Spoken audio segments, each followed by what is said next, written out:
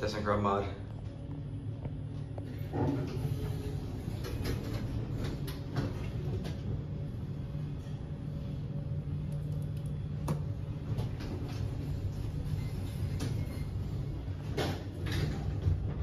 Big brother watching.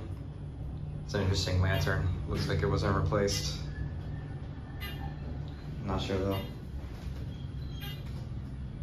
I like this cab better than the other tower. Oh, look at that. That's cool.